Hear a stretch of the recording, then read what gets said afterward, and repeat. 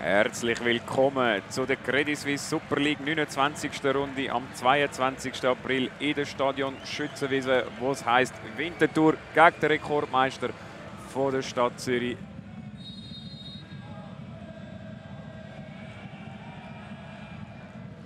Ja, wir warten da, bis er einen Anspielspartner gefunden hat, wird aber sofort wieder unter Druck gesetzt vom Herz. Oh, wunderschön, er probiert er Mölle mit zu spielen. Dann ist es aber nur noch der Kawabe und dann ja, auf der Herz und der Herz jetzt stolpert der Mölle ins Goal und es steht da 1 zu 0 für GC Zürich.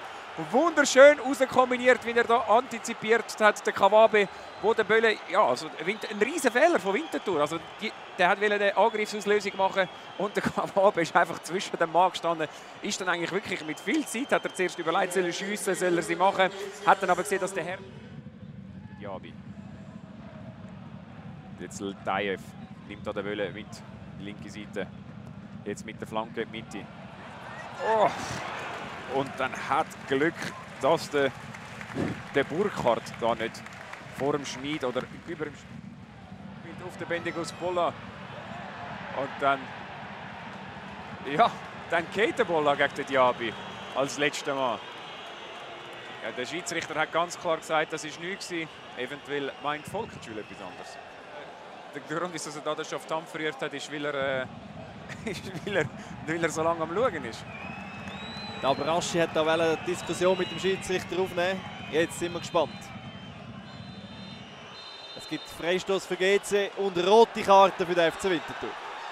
Ja, jetzt da auf dem Video ist nochmal ersichtlich, dass er ihn eigentlich mit der Hand, der Bendegus Bolla, mit der Hand am Fuß nochmal gekindert hat zum, weiter, zum vierten Mal. Ein bisschen einfach für mich.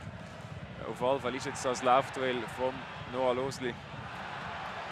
Oh, die Winterthur jetzt und jetzt der Cicushko allein und ja, ein riesen Save von Morera.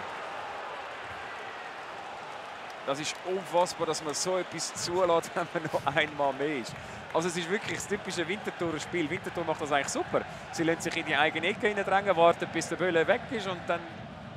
Am will sich anbieten für einen kurzen Eckball. Man entscheidet sich für den höheren Ball in Richtung Dadaschow. Oh, Schönes Kopfballgoal vom Dadaschow. Kurz vor der Pause gelingt es da zum 2 zu 0 zu erhöhen. Schöner Eckball von Pusic.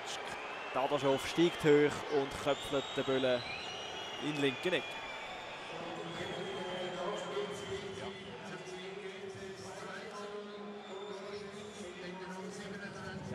Ja, Gegner angreifen. Ein Lupfer vom Pusic schön in 16 Herz. Ein Querpass findet vorerst keinen Abnehmer, aber Raschi kämpft sich da mit dem Kopfball zurück. Dominik Schmid schließt direkt ab. Uh, der wird noch gefährlich. Wäre zwar, glaube ich, jetzt einen Meter neben dem Goal vorbei, aber der Kuster hat da gleich gedacht, er müsste da noch eine Parade anlegen. Aber er ist auch wieder auf der Beine. Es kommt ein weiter Ball in Richtung Ardais. US setzt sich da schön durch. Jetzt vielleicht Ardais. Abschluss Ardais. Uh, der verzieht nur ganz knapp 2-3 Meter am Goal vorbei. Ja, da muss man natürlich wach bleiben hoch in Richtung 16er. Dort steigen alle hoch und alle verpassen. Die Winterthur aber immer noch gefährlich. Und dann wird das Hands moniert und es wird tatsächlich auch pfiffen. Es gibt, wenn ich es richtig sehe, einen Elfmeter für den FC Winterthur. Ja, so ist es. Der Leidtragende wird der Dominik Schmid sein, der noch geile Karten bekommt für die Aktion. Und somit ist da der Roman Buß, der sich da den Böllen schnappt. Roman Buß vom FC Winterthur rechts in Ecke.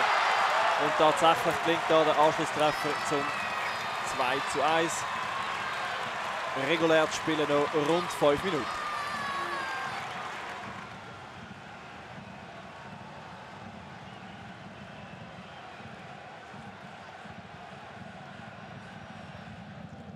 Einwurf Winterthur.